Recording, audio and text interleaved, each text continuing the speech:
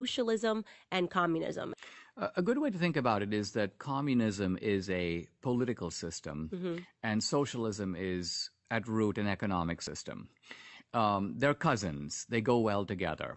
The Soviet Union was communist and socialist, and at some point it overthrew both. So the Soviet Union now has a certain type of gangster capitalism, but it's neither communist nor socialist. But look at China. China was a communist socialist society.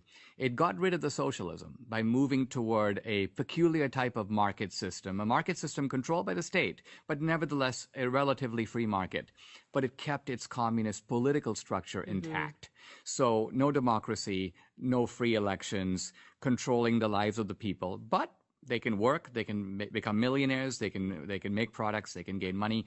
So commun- so China is a really good example of the way of preserving communism while jettisoning socialism. Well, As the Chinese are they're kind of offering their citizens a bargain, which is mm-hmm. that you've been poor, desperately starving peasants for for millennia. We're going to basically fill your stomach, and we don't want you to say one word about your rights because we're giving you something you've never had before. And they're trying to keep the Chinese content with that bargain. And that's the question. Turning to coronavirus for a second, you know, the left needs today the politics of fear. Mm-hmm. This is kind of why they try to whip us into a frenzy all the time. See, Marx thought you wouldn't need any of this. Marx thought that the revolution was scientific. It would come automatically. You don't even have to fight for it because it's going to happen by a law of history. But nowhere did the workers revolt against the capitalist class. Not in Marx's time, not to this day anywhere in the world. So the left has realized Marx was wrong about that. There's nothing scientific about socialism. What we need is panic.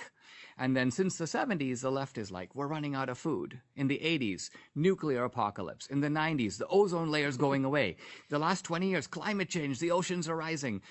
And now coronavirus, the, the, the theme is the same. We want to take rational people and create a crowd stampede. Mm-hmm. So because crowds behave differently